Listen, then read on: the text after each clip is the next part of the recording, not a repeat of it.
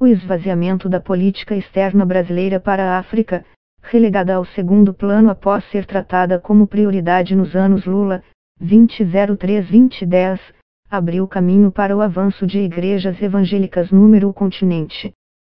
Com o apoio do governo Jair Bolsonaro, congressistas ligados a grupos neopentecostais vêm ocupando espaços para liderar a agenda do Brasil com países africanos, antes influenciada fortemente por empreiteiras golpeadas pela Lava Jato.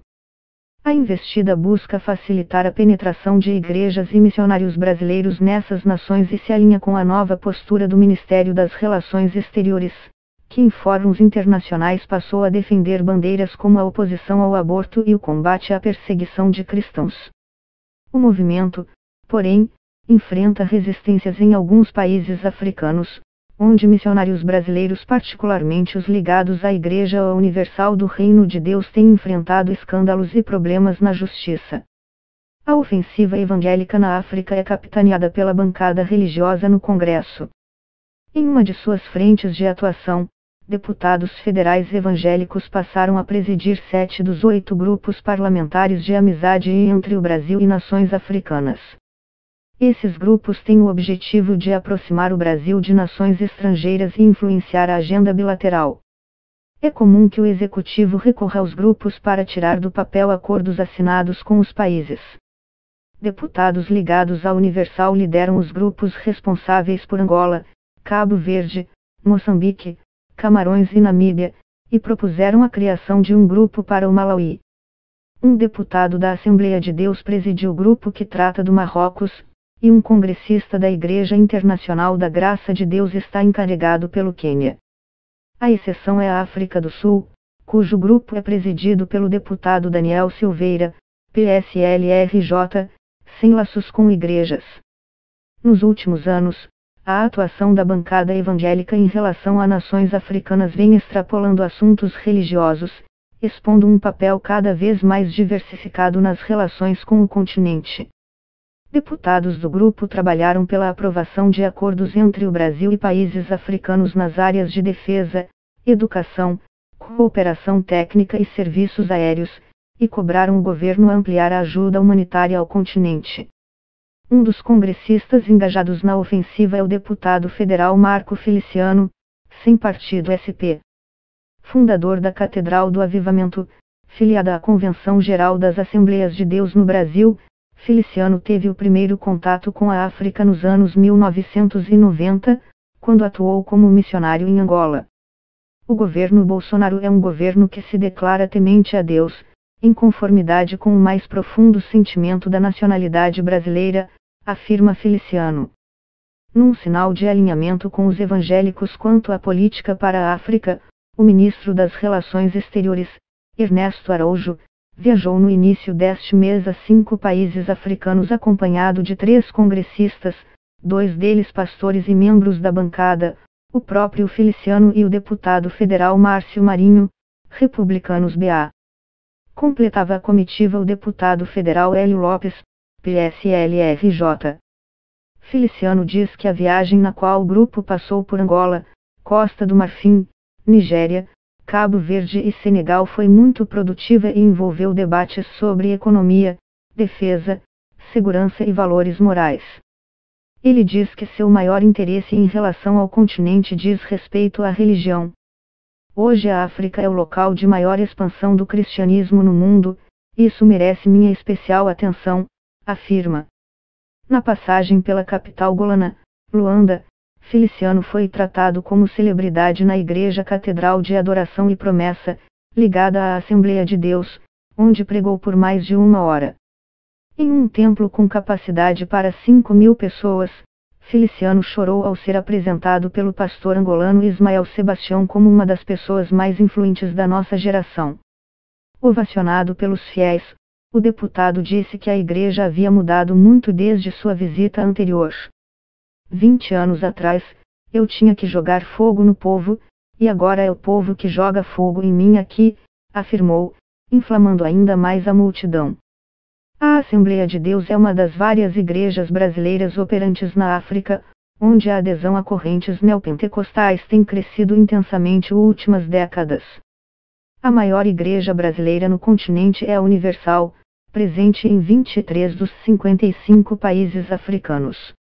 O continente também é cobiçado por várias organizações missionárias brasileiras, entre as quais a Gideões Missionários da Última Hora, que tem operações em 11 países africanos e recebeu Bolsonaro em seu último congresso, em maio.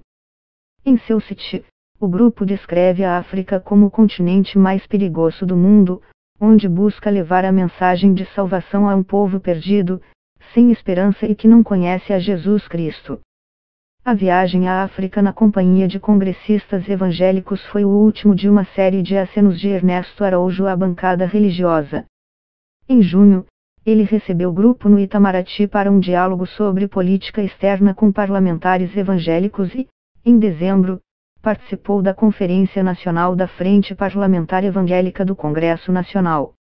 Os evangélicos também têm grande interesse em relação a Israel e vêm pressionando o governo a transferir a embaixada de Tel Aviv para Jerusalém. Mas a medida é rejeitada por outro setor influente no governo, o agronegócio, que até agora conseguiu barrar a iniciativa. A influência religiosa na política externa também se nota na nova postura do Brasil em órgãos internacionais. Em uma conferência da ONU em março, o governo brasileiro se posicionou contra a citação ao direito ao acesso universal a serviços de saúde reprodutiva e sexual em um documento por entender que as expressões poderiam dar margem à promoção do aborto. Em outra conferência, na Hungria, em novembro, o secretário de Assuntos de Soberania Nacional e Cidadania do Itamaraty, Fábio Mendes Marzano, defendeu que liberdade religiosa não é somente o direito de praticar uma religião, mas o direito de se manifestar, debater e defender a fé, e mesmo de tentar converter aqueles que não têm uma religião. Marzano discursou em um evento contra a perseguição de cristãos, bandeira promovida pelo presidente americano, Donald Trump, e abraçada pela atual gestão do Itamaraty. Outros sinais de convergência entre a agenda evangélica e o Itamaraty foram emitidos nos últimos meses, quando a Igreja Universal se envolveu em conflitos em Angola e São Tomé e Príncipe, duas ex-colônias portuguesas no oeste africano onde a denominação tem presença relevante. Em São Tomé e Príncipe, um levante popular no início de novembro provocou a depredação de vários templos da Universal e a morte de um adolescente. A crise foi desencadeada pela prisão de um pastor são tomense a quem foram atribuídas denúncias de abusos da Universal contra funcionários africanos. Semanas depois, um grupo de pastores da Universal em Angola rompeu os laços com a liderança brasileira da igreja, acusando-a de desviar recursos para o exterior, discriminar funcionários locais e promover a esterilização de sacerdotes africanos. O grupo, que diz ter o apoio de 330 pastores e bispos golanos da Universal, pediu a expulsão de sacerdotes brasileiros para que a igreja passasse a ser liderada exclusivamente por golanos. Nos dois episódios, a Universal repudiou as acusações e disse ser vítima de campanhas de difamação. Nos dois episódios, o Itamaraty reforçou a defesa da Igreja. No auge da crise em São Tomé e Príncipe, o embaixador brasileiro no país interrompeu as férias para tentar apaziguar os ânimos de congressistas são tomenses, que ameaçavam caçar a licença de operação da Igreja. E, na visita recente a Angola, o ministro Ernesto Araújo deu uma entrevista à rede portuguesa RTP na qual elogiou a Universal e defendeu a atuação da igreja no exterior. Segundo Araújo, a igreja fez a diferença para melhor para milhões de pessoas e é uma entidade extremamente importante no Brasil. Questionado sobre o processo judicial que a Universal enfrenta em Angola, disse não querer interferir em eventuais investigações, apenas acompanhar a situação para que no quadro normativo e legal angolano haja um tratamento equitativo da Igreja. A agenda política da Universal na África é liderada pelo deputado federal Márcio Marinho, Republicanos BA.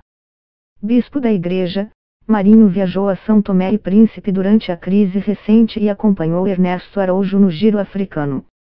Negro e no quarto mandato como deputado federal, ele presidiu os grupos parlamentares de amizade com Angola, Cabo Verde e Moçambique e é hoje o principal interlocutor do Congresso Brasileiro com a Comunidade de Países de Língua Portuguesa, CPLP, em cujos encontros esteve duas vezes só neste ano. Boa parte de sua atuação no Congresso diz respeito a temas africanos. Em 2013, por exemplo, ele propôs ao Itamaraty que negociasse com a União Africana a instalação de uma missão diplomática da organização no Brasil. Na Comissão de Relações Exteriores e Defesa Nacional da Câmara dos Deputados, Marinho foi o relator de uma série de projetos de cooperação entre o Brasil e países africanos, entre os quais Angola, Benin, Moçambique e Etiópia. Para o cientista político Matias Alencastro, pesquisador do Centro Brasileiro de Análise e Planejamento, SEBRAP, hoje baseado no Instituto de Ciências Sociais de Lisboa, a investida evangélica na política externa brasileira não é nova, mas atingiu no governo Bolsonaro uma simbiose sem precedentes. Ele afirma que gestões anteriores fizeram concessões ao grupo como a entrega de passaportes diplomáticos a líderes religiosos, mas tinham o cuidado de não se vincular com a ação de igrejas brasileiras no exterior. Para Alencastro, a nova postura do governo potencializa situações de conflito. A próxima crise com uma igreja evangélica brasileira na África será uma crise do Brasil, porque o Brasil se tornará indissociável das igrejas, afirma o pesquisador.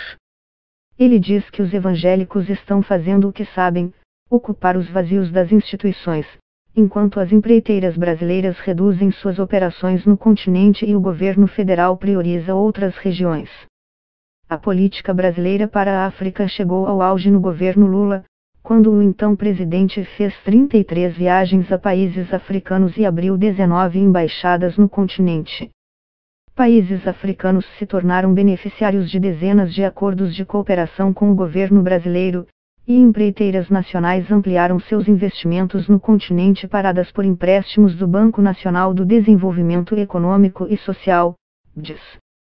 A agenda começou a perder fôlego no governo de Dilma Rousseff, que não tinha o mesmo interesse de Lula pela África, e sofreu outro baque com o fim da dobradinha entre as construtoras e o BDS, dinamitada pelas denúncias de corrupção da Lava Jato.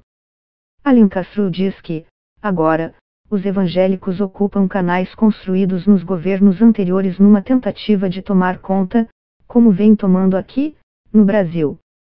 É um projeto de expansão. Ele afirma que a influência do grupo na relação do Brasil com a África já ultrapassou as fronteiras da religião. Hoje, o melhor caminho para brasileiros que queiram investir número a África passa pelos evangélicos.